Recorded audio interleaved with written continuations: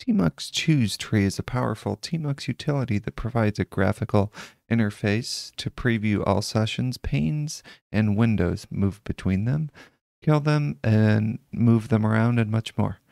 Uh, by default, there's a key binding for prefix S. We'll do a choose tree with uh, sessions collapsed.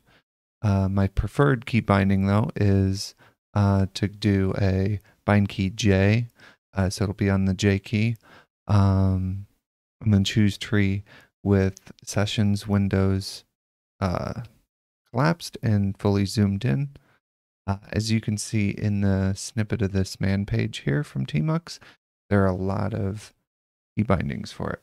If I do my control space J, this is what Tmux choose tree looks like we can see here we've got a preview of the session down below and a list of all of our sessions. Uh, if we look here at my username, we can see that it has uh, two windows open. We hit L, that opens it, H closes it, and we can dive further in here and we see that this uh, one uh, pane is split and we can see each of the splits. Um, we can go ahead and do things like uh, run a command. So if I hit colon, I can do kill dash pane and it will kill that pane. If I do, let's do a mark. If I hit M, that will mark it. Capital M unmarks it. So if I do a uh, capital M, and this is on my tmux configuration, I can move that to my scratch window. So do another colon, uh, and then do a join dash pane, and that will move that down into my scratch. You can see it here. Uh, if we open it up, we can then we can go right into it.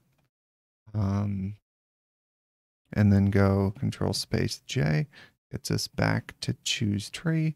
I can go back to uh, my username.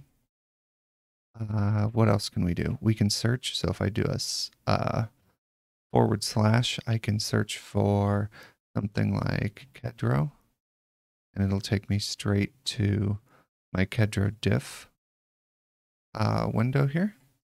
I can open it with enter. Um, yeah, that's about it. So control space J for me, and I can go back into uh, the post here. You can see there's all sorts of uh, all sorts of key bindings and flags for opening it up in various ways. Uh, but super cool built in.